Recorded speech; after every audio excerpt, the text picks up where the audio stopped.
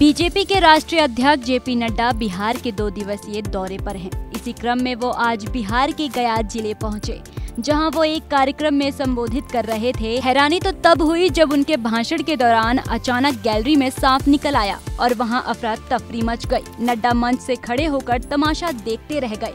उनको समझ नहीं आया कि आखिर हुआ क्या।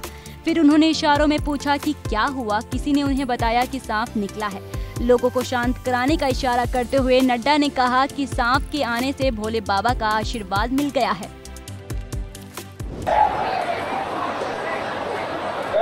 वो भी हमें आशीर्वाद आए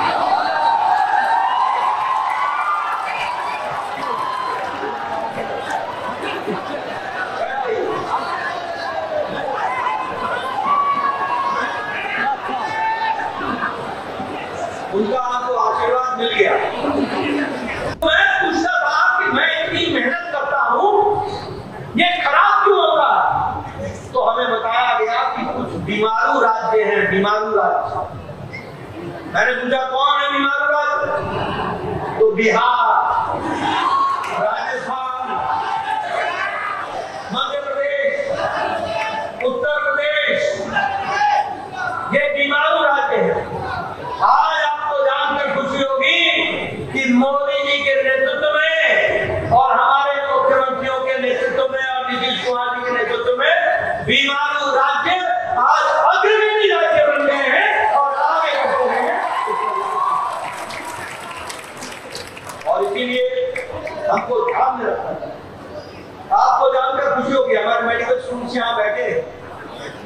आपको जानकर खुशी होगी।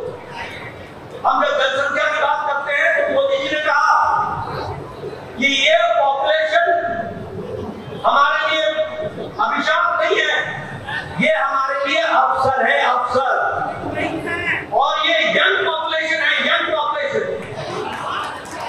आज भारत सबसे यंग देश है, जिसको हमको आगे ले जाना है और विकसित भारत में अपने आप को पूरी तरीके से आहूत करना है।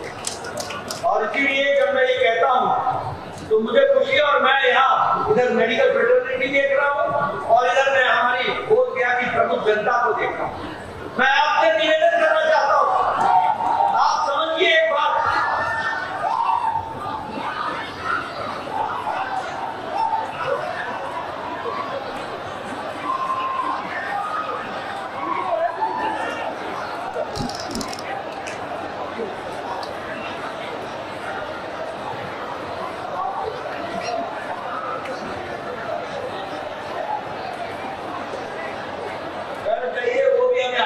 समझ नहीं आए